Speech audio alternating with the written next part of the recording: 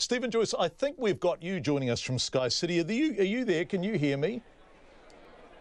I can hear you, John. Yeah, thank, can you hear me? Yeah, I can. Thank you so much for joining us. Uh, we really appreciate it. Uh, a really strong start. No problems at all um, for the National Party. 15.3% of the yeah, exactly. 15.3% of the results yeah. counted. 46.2 for the Nats, 36.5 for Labour, 7 for New Zealand First, and 6 for the Greens. What's your take of what the advance vote count is telling you?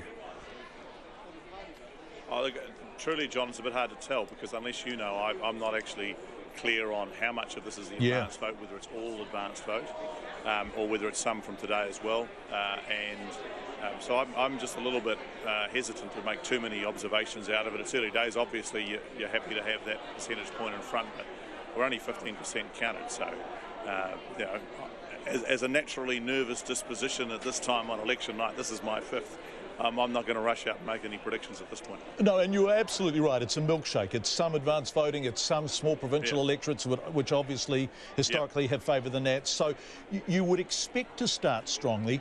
Where did your polling have you at? What sort, because my understanding is your polling had you in front, but what sort of gap were you being told there was?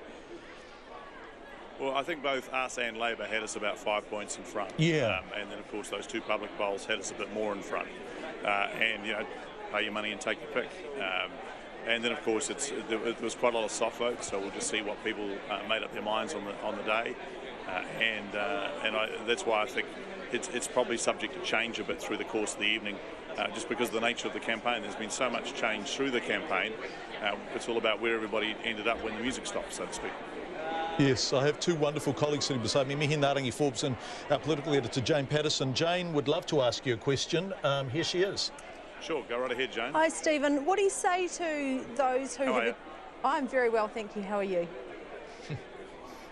um, so far, just nervous. I've got my rabbit's foot and I'm crossing my fingers and all that stuff. Just the usual on election night. That's right. Yeah, no different. What do you say to those who have accused you of running a campaign of misinformation um, with the 11.7 fiscal hole and, and then your, your, ads and that sort of thing? Do you stand by the way that you and Bill English have run this campaign? Absolutely, and I completely uh, reject any suggestion of misinformation. Uh, actually, every party deserves to have its uh, have its policies and its issues tested and that's actually about a robust campaign. What I've loved about this campaign is it's been about the things that people care about. It's been about tax policy, it's been about economic policy and, and fiscal policy and all those things. Uh, actually, you and I both remember that 2014 struggled to be about any of that.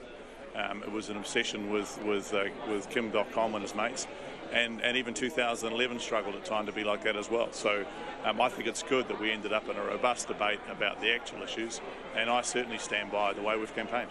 One thing that does look to be different this time is the allies that you might potentially have after tonight. Um, obviously, United Future out of the picture, the Māori Party potentially in yep. some trouble. What are your thoughts on potentially working with I Mr Peters and New Zealand First? I just think it's too early to say at this point, mm -hmm. Jane. I mean, I, I think because one of the things that when those really small parties early on, you know, depending on whether their whether their uh, seats have shown up at all, so, for example, I, I, mean, I don't know, you can perhaps tell me, but I haven't seen much out of the Māori seats yet. So it's hard to make a judgment of how the Māori Party is actually going because um, you know, their vote tends to be concentrated in the Māori seats. And and, um, we ha- haven't seen much from any individual Māori seats unless you can enlighten me. So, and they often tend to be quite late in the evening. So I think it's just a bit early for those sorts of judgments to be made.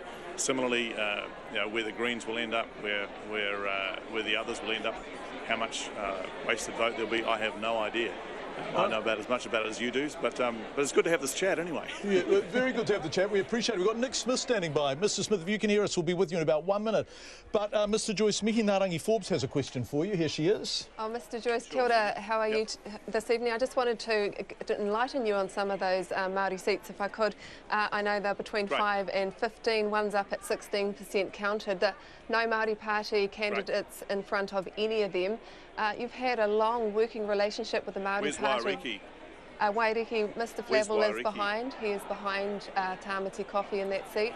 Um, not by much, but uh, and there's not a lot, Yep. and it's No only about nine percent of Yeah. the vote counted, but he is ahead, Yeah, and it's- it's Palm all Te pretty Kofi early, has been a, ahead on, in that seat the whole time.